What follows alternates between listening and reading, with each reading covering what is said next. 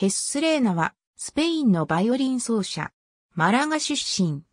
4歳の頃からソフトベルディアレスを演奏するほどの早熟ぶりを見せ、ヴィンチェンツォ・プマト・アラ・バルタニアンにバイオリンを学んだ。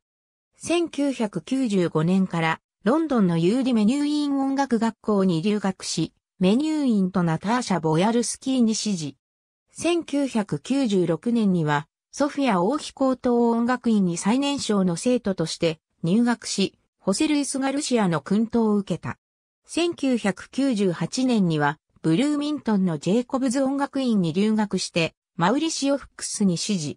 また、マンハッタン音楽学校のピンカス・ズーカーマン、パフォーマンスプログラムに参加し、ズーカーマンとパティンカ・コッペックの指導も受けた。2014年から故郷のマラガでガラミアンアカデミーを主催。アーカイブ2020年7月6日ウェイバックマシン、エルビルトオーゾバイオリニスタ、ヘスースレーナオフレセマニャーナサバトウンリサイタルでビーリン、ENL テアトロセルバンテスアコンパニョードアルピアノで、タチアナガンチャーバ。テレプレンサ、オリジナルの2020年7月7日、時点におけるアーカイブ。Https コロンスラッシュスラッシュアーカイブ .is スラッシュ DA1LH2020 年7月7日閲覧。